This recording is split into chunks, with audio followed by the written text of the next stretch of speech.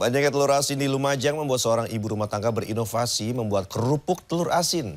Dalam satu bulan, pembuat kerupuk telur asin bisa mendapatkan keuntungan hingga 6 juta rupiah. Sementara di Denpasar, Bali, seorang warga berinovasi menyulap batu menjadi dispenser untuk sabun dan sampo. Dalam sebulan, cuan dari jualan dispenser ini tembus ratusan juta.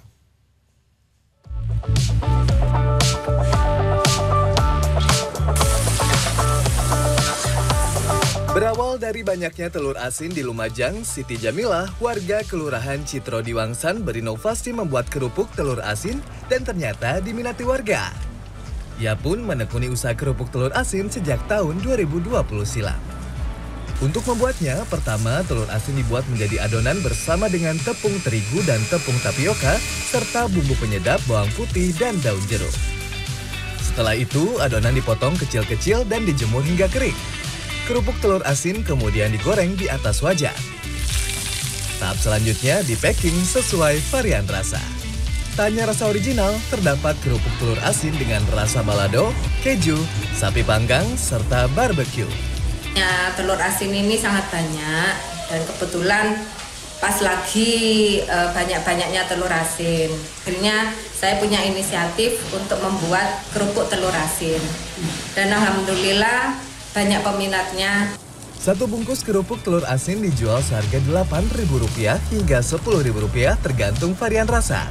Dalam satu bulan, Jamila memproduksi hingga 120 kg kerupuk telur asin dengan keuntungan 6 juta rupiah per bulannya.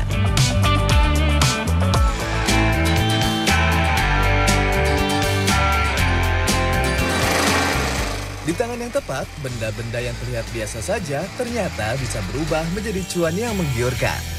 Seperti yang satu ini, siapa sangka deretan benda-benda dengan visual menarik ini terbuat dari bongkahan bebatuan. Ya, ini adalah dispenser untuk tempat sabun cair dan sampo.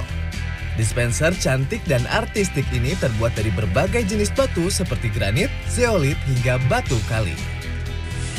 Batu kali tidak hanya bisa digunakan untuk pengganti rumah, tetapi batu kali juga bisa digunakan menjadi kerajinan yang memiliki nilai jual tinggi. Salah satunya adalah dispenser untuk tempat sabun maupun tempat sampo. Bentuknya yang menarik dan tampilannya yang cantik membuat produk buatan warga di Jalan Gunung Athena dan Pasar Bali ini banyak diburu pembeli. Bahkan banyak juga dipesan pengelola hotel dan villa. Produk UMKM ini juga telah berhasil menembus pasar internasional terutama Australia. Semua pokoknya berkaitan dengan batu.